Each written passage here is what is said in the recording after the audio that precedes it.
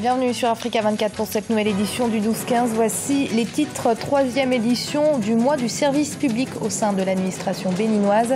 L'opération lancée le 13 juillet entend désengager les dossiers en instance dans les services de l'État.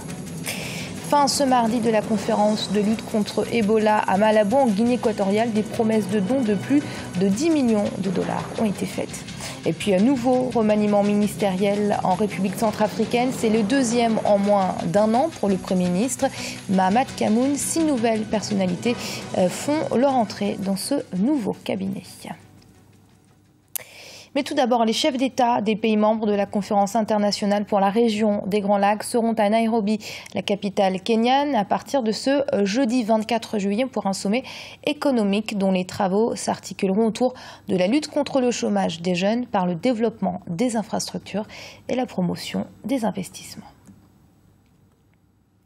Le gouvernement béninois veut rendre plus dynamique l'administration publique. C'est ainsi qu'il organise chaque année, et ce depuis trois ans, l'opération Zéro dossier en instance dans les services publics, une initiative qui vise à satisfaire les usagers de l'administration publique en rendant ce service plus rapide et plus efficace. Reportage de notre correspondant au Bénin, Leftionou. Disposer d'une administration efficace au service de la nation, c'est l'objectif visé par le gouvernement béninois à travers le mois du service public initié depuis 2013. Lancé le 13 juillet 2015, cette troisième édition intitulée Zéro dossier en instance dans les services publics entend améliorer la qualité des services destinés aux usagers de l'administration. Nous avons remarqué au niveau du gouvernement que l'administration publique béninoise est malade. Elle est malade en ce sens qu'il y a trop de dysfonctionnement. Elle a accusé à tort ou à raison de corruption, de lenteur, de tous les mots qu'il faut. Donc euh, c'est suite à ce constat que le gouvernement a décidé, depuis trois ans aujourd'hui, à ce que le mois du service public soit institué sur toute l'étendue du territoire national. Du ministère du Travail à la préfecture de Cotonou, comme dans tous les ministères sectoriels et leurs structures sous tutelle, tous les services se sont conformés à cette réforme. Il y a une certaine évolution qui se fait par rapport euh, à la satisfaction de l'usager client, surtout pour les prestations euh, de la préfecture. Je voudrais faire allusion là à la délivrance de la carte nationale d'identité et au récépissé de création d'associations et d'organisations non gouvernementales. L'ambition pour cette troisième édition est de contribuer à l'accélération du traitement des dossiers et à la réduction du fossé entre les usagers et l'administration. Pour de nombreux usagers, cette initiative doit se pérenniser. Il ne faut pas que euh, les fonctionnaires béninois attendent seulement ce mois de service public pour réellement travailler. Le travail doit être quotidien. Rappelons que 2314 requêtes ont été reçues et transmises par le ministère du Travail aux structures concernées en 2014 soit un taux de traitement de 51,70%. La plupart des dossiers qui ont fait objet de préoccupation des usagers portent sur la situation administrative et financière des agents de l'État.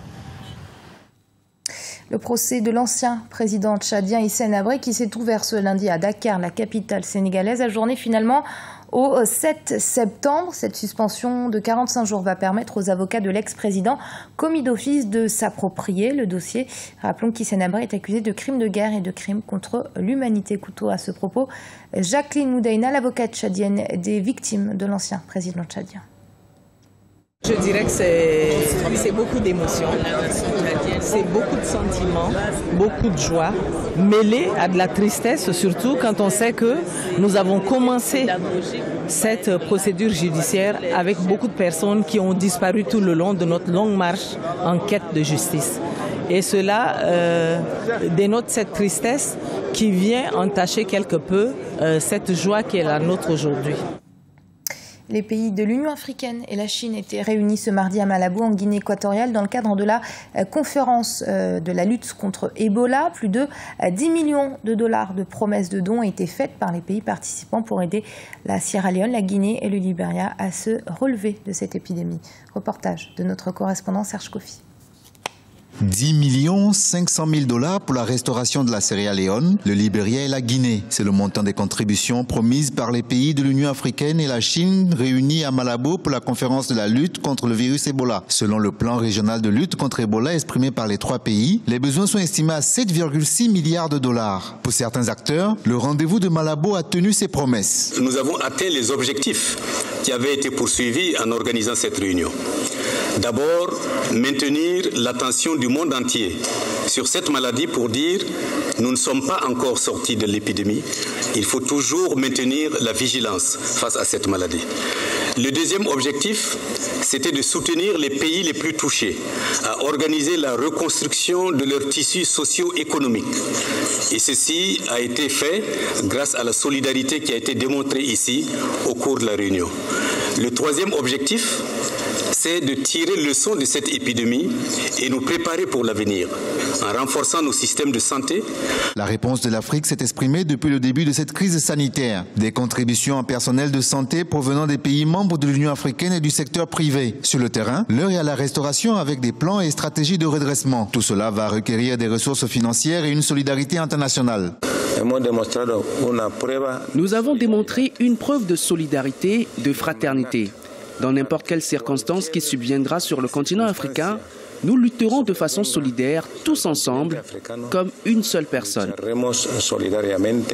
Le 10 juillet 2015, plusieurs organisations internationales avaient promis 3,4 milliards de dollars pour aider les trois pays les plus affectés, la Guinée, le Libéria et la Sierra Leone, à se relever. Sur les 1,5 milliard de dollars qui doivent être mobilisés par le système des Nations Unies en 2015 pour mettre fin à cette épidémie, 600 millions sont déjà disponibles grâce aux généreuses contributions des gouvernements. Mais il reste encore 900 millions de dollars à recueillir. La nouvelle banque de développement fondée par les BRICS, les économies émergentes que sont le Brésil, la Russie, l'Inde, la Chine et l'Afrique du Sud, a ouvert ses bureaux dans la métropole chinoise de Shanghai, baptisée New Development Bank. L'institution se veut l'alternative au Fonds monétaire international, UFMI, à la Banque mondiale, des institutions critiquées pour leur incapacité à refléter le poids grandissant des pays émergents. Écoutons à ce propos le président de la nouvelle institution, Leslie Master. En tant que banque de développement multilatérale initiée et créée par les marchés émergents, la New Development Bank sera davantage axée sur les besoins de ces mêmes pays émergents. Elle respectera mieux les conditions de chaque nation et représentera les idées des pays en développement. Cela enrichira complètement le concept de développement, de pratique et d'expérience de chaque pays pour être plus efficace ensemble. Nouveau euh, remaniement ministériel en Centrafrique, c'est le deuxième en moins d'un an pour le Premier ministre Mahamat Kamoun. Six nouvelles personnalités foulant rentrer dans ce gouvernement. Cette nouvelle équipe dévoilée ce lundi aura pour mission de conduire les affaires du pays jusqu'à l'installation d'un nouvel exécutif issu des élections programmées en octobre et en novembre prochain. Emmanuel Milimono.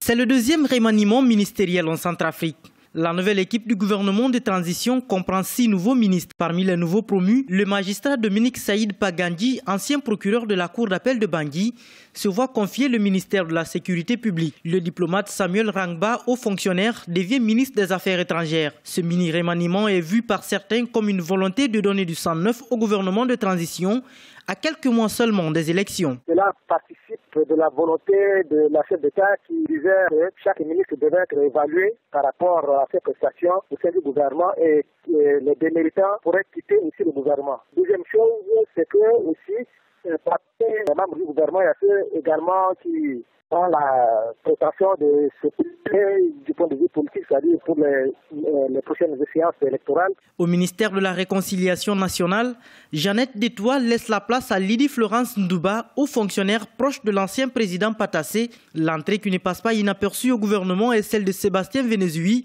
l'ancien coordonnateur adjoint des Antilles-Balaka.